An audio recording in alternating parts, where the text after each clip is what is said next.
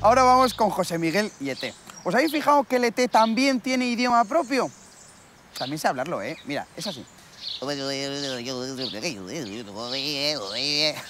Complicadillo, pero me sale, ¿eh? El que es facilico, facilico es el élfico. Mucha gente me pregunta por la calle, Orlando Bloom, ¿es difícil aprender élfico? Y yo les digo, no. Os voy a dar una clase que os vendrá muy bien por si algún día bajáis a Rivendell para fiestas. Me he vestido de Legolas para darle un poquito de ambiente a la clase.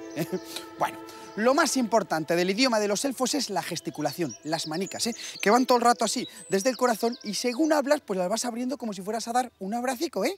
Luego ya lo que digas, pues eso es lo de menos. Por ejemplo, si queréis ligar con una elfa que querréis porque están todas buenísimas, pues vas, te acercas a la zagala y le preguntas, por ejemplo, que si tiene novio, y le dices...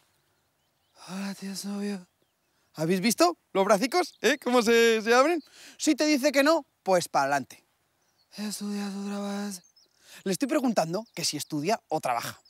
Bueno, eso mejor no se lo preguntéis porque los elfos no trabajan ninguno, eso no dan palo al agua. Pero le puedes preguntar cuántos años tienes. ¿Cuántos años tienes?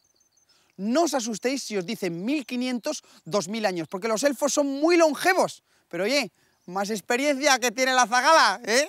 Y ya entramos en materia. Y le preguntas que si va contigo al ribazo. ¿Tienes amigo al ribazo? ¿A qué? te dice ella.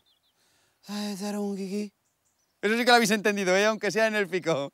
Si os dice que no, repetís el proceso con otra. Si os dice que sí, pues ya sabéis lo que tenéis que hacer, que eso no lo voy a explicar, ¿eh? Tira, vamos a ver el José Miguel y ET, que yo me quedo aquí, buscando una elfa.